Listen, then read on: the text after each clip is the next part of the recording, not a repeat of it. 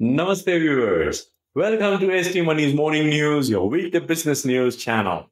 It is Monday morning, September 30, 2024, and I'm your host, Sunil Thakker of Sunny Talks Money. Let's roll.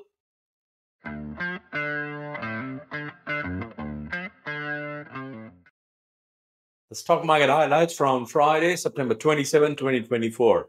The market failed to hold on record highs and ended lower in the volatile session on September 27 amid selling seen in media, bank, and realty sectors.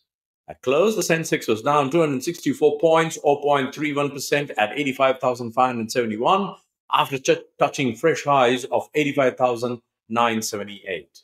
The Nifty took a breather after a few days of continuous gains. Nifty 50, on the other hand, scaled an all time high of 26,277 before ending Friday's session with a loss of 37 points or 0.14% at 26,178. Despite a flat start, the market scaled to fresh record highs in the initial hours but witnessed a range bound movement in the first half. However, selling pressure in the second half dragged the benchmark indices to red. 29 out of the 50 constituent stocks of the Nifty 50 ended in the red with Power Grid Corporation, Bharti Airtel, HDFC Bank, ICICI Bank, and Hero MotoCorp being the top laggards. Conversely, BPCL, Sun Pharma, Divis Labs were among the top gainers. Notably, index heavyweight Reliance Industries ended with gains of 1.71%. Among the broader indices, the Nifty Mid Cap 100 and the Nifty Small Cap 100 indices settled with losses of 0.15% and 0.10%, respectively.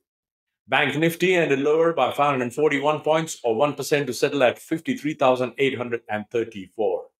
Meanwhile, Nifty Oil and Gas Index outperformed the other sectoral indices, while PSU Bank, Pharma, Metal, and IT were among the other indices that ended with gains.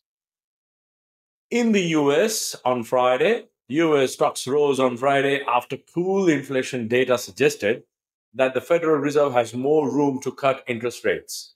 All three major US stock indexes posted a third straight week of gains as the blue chip Dow Jones Index on Friday logged an all time high for the 32nd time this year.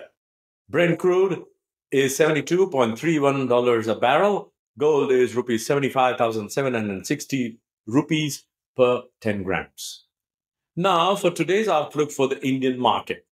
The sentiment remains strong as the index continues to stay above the important moving averages. Technically, a bullish candle on the weekly charts, and uptrend continuation formation on daily and intraday charts indicating further trend from the current levels. The current market texture is bullish, but buying on dips and sell on rallies would be the ideal strategy for the short-term traders.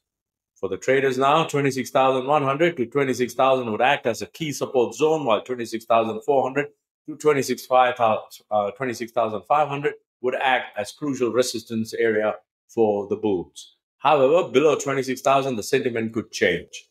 Below the same, traders may prefer to exit out from the long trading positions. Stocks on radar today. Welspun Enterprises, Zomato, BSE, Apollo Hospitals, Biocon, Lupin, IDFC First Bank, Dr. Reddy's Laboratory, Punjab National Bank, ICICI Prudential Life Insurance Company, Bharat, uh, Bharat Electronics, Tata Chemicals, Adani Enterprises, and Adani en- Energy Solutions will be in focus on September 30. That's today. What do you think the markets are going to do today? Let us know in the comment section. In the meantime, we will see you tomorrow morning. Happy investing, stay inspired, and remember, it is all about